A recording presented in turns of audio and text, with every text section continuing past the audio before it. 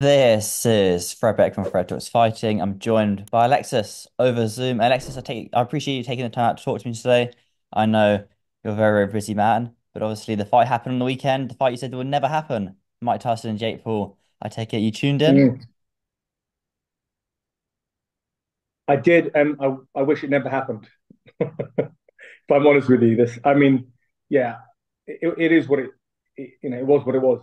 You know, I think it was just a, you know, great bit of, marketing, uh, great bit of um, sort of mo- a money grab for everybody. But realistically speaking, it didn't do any favors for boxing. It didn't do any favors for Mike Tyson. Definitely didn't do any favors for Jake Paul, but it did for Netflix. I think it did great numbers, and I think it's a great introduction to the uh, to the kind of you know having large events on on uh, on Netflix. You know, from NFL to soccer to boxing. I think it's a great introduction for for Netflix to do that. I think it reached a lot of people and it did great numbers. But um, from a combative point of view, I mean, I thought it was ridiculous. But uh, Mike Tyson, we impressed. I guess the first round is his round. We fought very, very well. Then after that, kind of slowly went downhill. Where you can see he didn't have the the rhythm, the movement anymore. You impressed with him in the first round? Yeah, no, I'm not. I'm, I'm not impressed at all. I mean, I'm impressed with with Mike Tyson being able to be 60 years old and to be in that kind of shape and to still, you know, to still turn up and show out like he did. But realistically speaking, it wasn't a boxing fight. It wasn't a boxing match. It was there were two minute rounds. You know, there were very little punches thrown by Mike. Jake, there was not much pressure. I didn't, you know, as, as nostalgic as, as it may have been, if we're talking about real real fighting, that, that wasn't real fighting. But you know, I'm happy uh, Mike is is okay and he didn't get hurt, and um, I hope he doesn't do anything like this again. Did you see the post interview though, where he was like, "I might do it again. Never say never." He didn't like give a hard yes or a hard no. Yeah, I, I think I, I'm old enough to remember Mike's retirement speech of boxing, which was, "I never want to discredit the sport of boxing.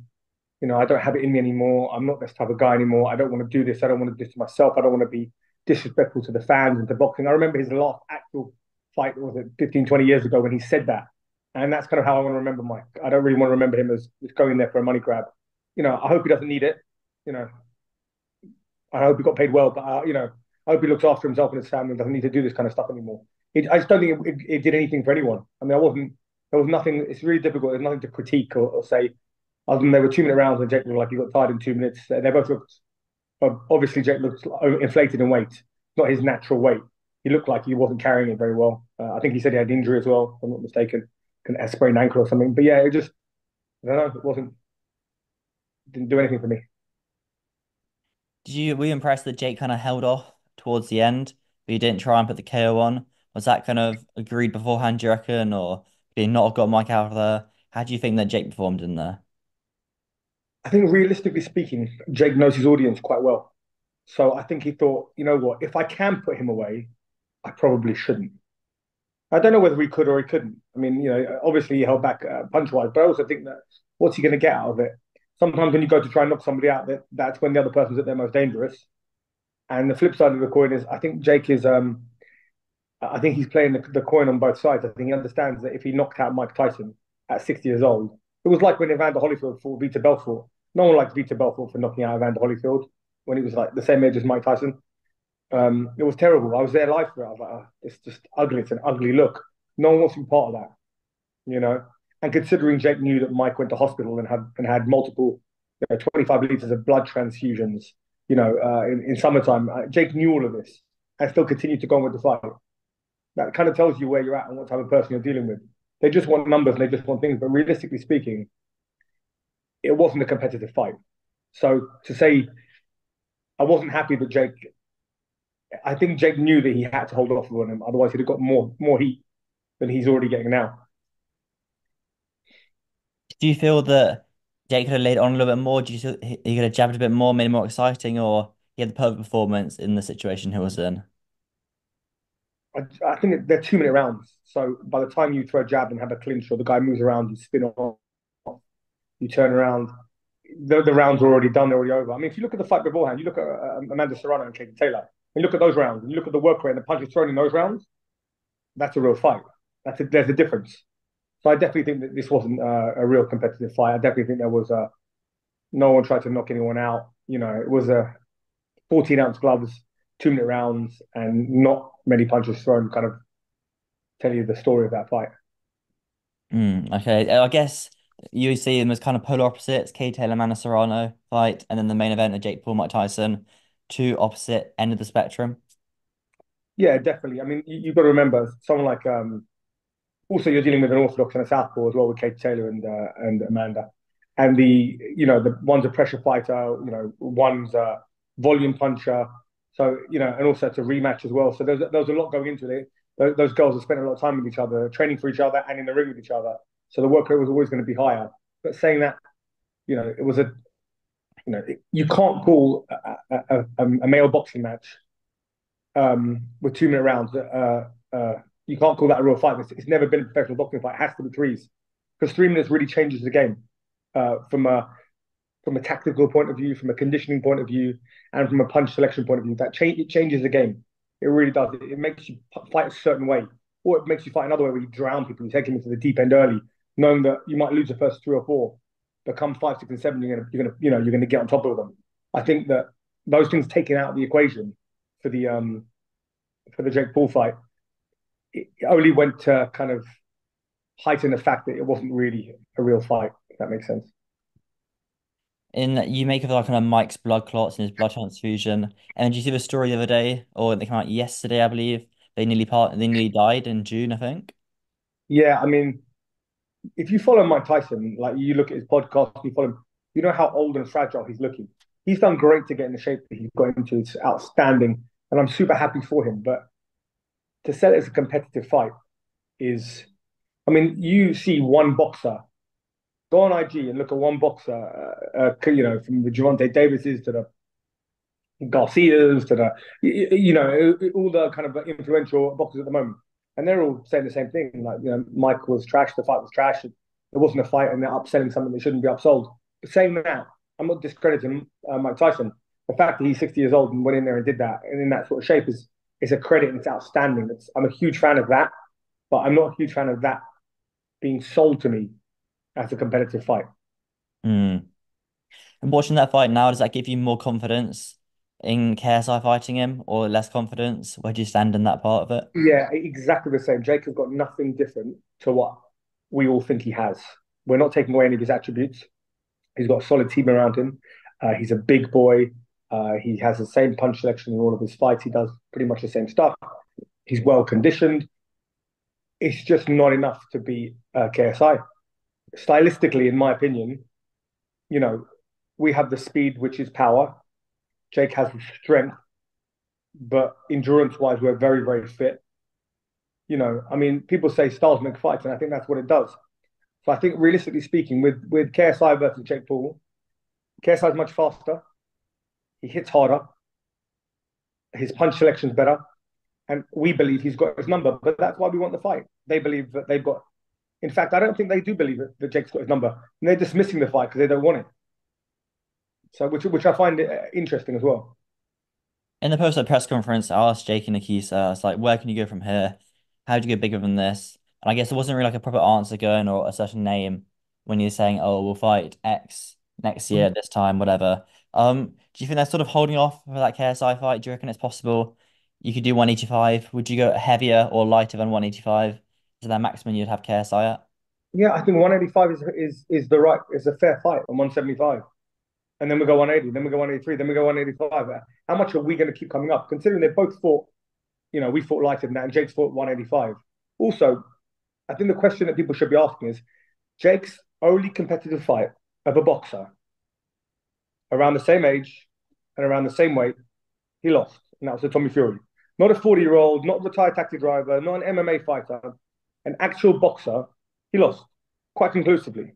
Whereas when we took on the same guy and we moved up in weight, it was a much more competitive fight. Arguably, I thought we won, and so did a lot of people. But let's say, you know, you're going with the scorecards. We boxed that fight way better than Jake. And there is, it's not that, you know, you can say one plus one equals two. I'm not looking at, at how I, we fought and how he fought. I'm saying there is common ground to say that that fight isn't as far away as people think it is, and there isn't a reason why Jake thinks he's so much better than KSI, other than maybe he's nervous of losing the bag. Maybe if he loses to, to KSI, that's it for boxing.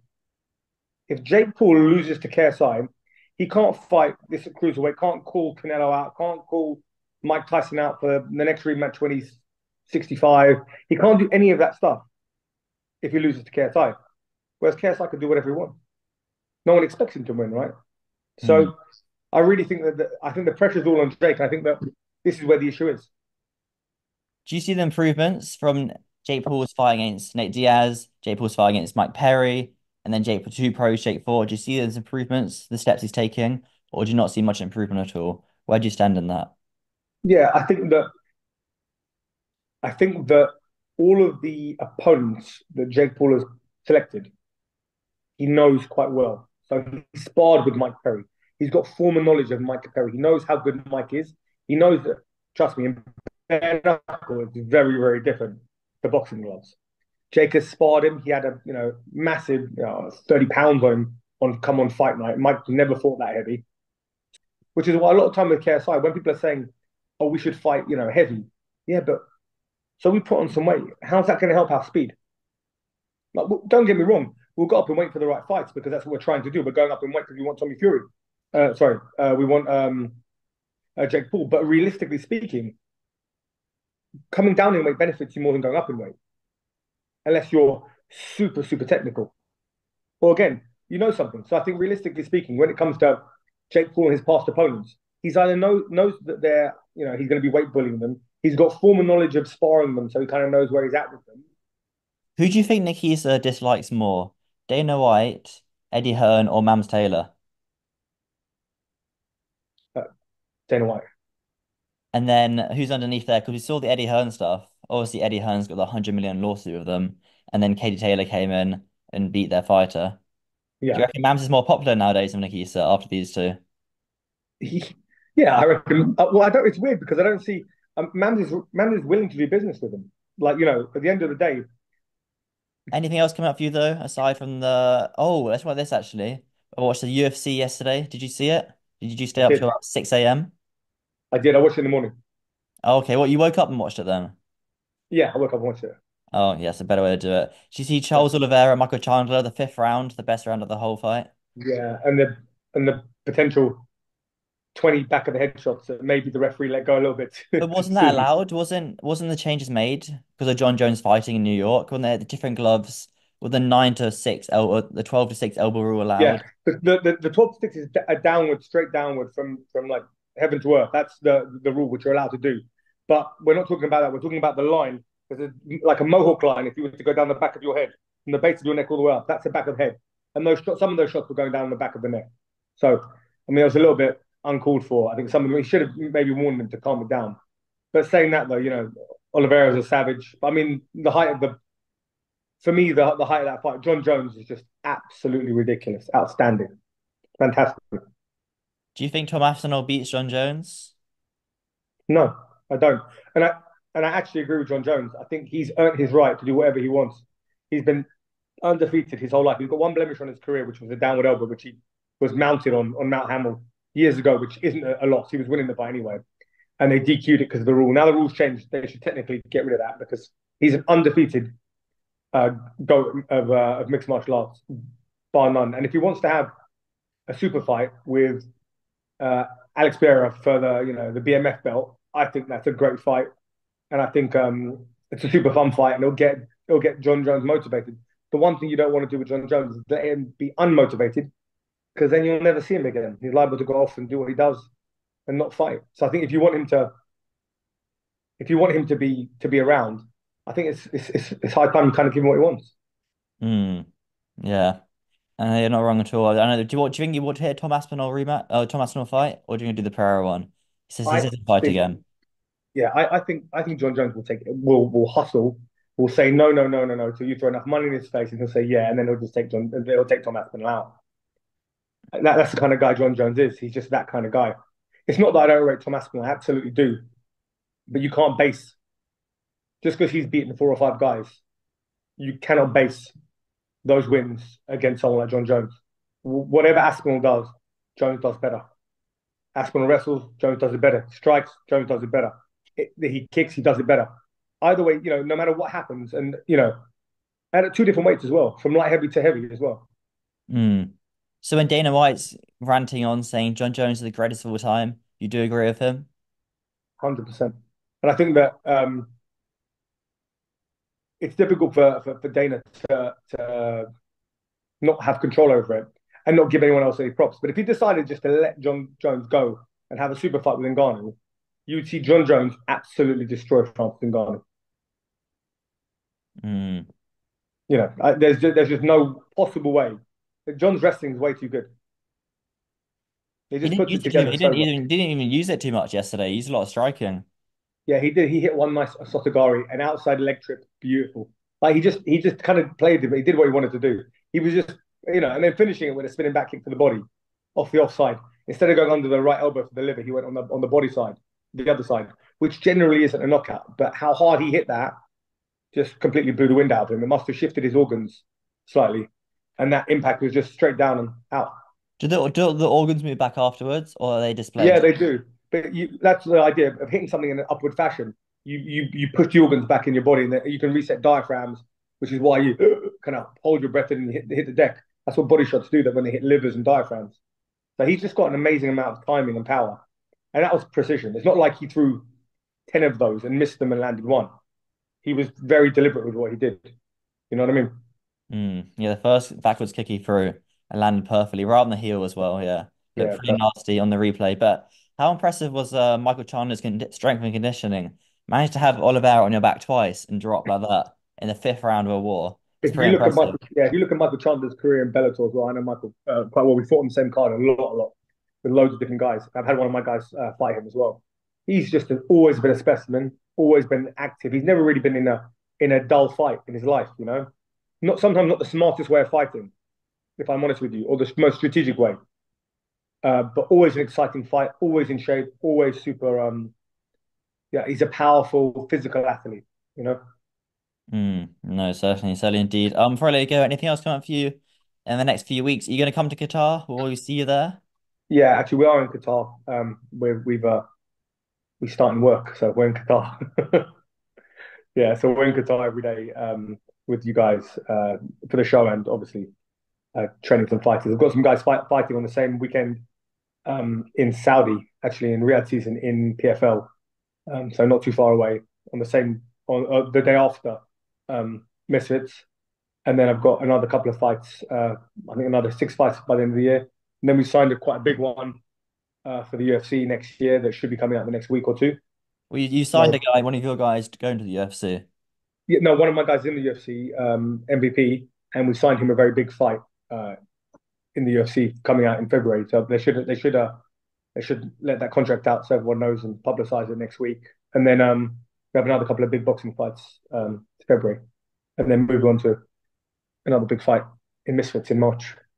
Awesome. Well, Alexis, as always, I do appreciate you taking the time out. I know it's a little bit later in the day. I'm in Nashville right now, so I'm about nine o'clock, so not too uh not too late for me. But yeah, thanks very much, man. I do appreciate it as always. Pleasure. Thanks a lot. Thanks a lot.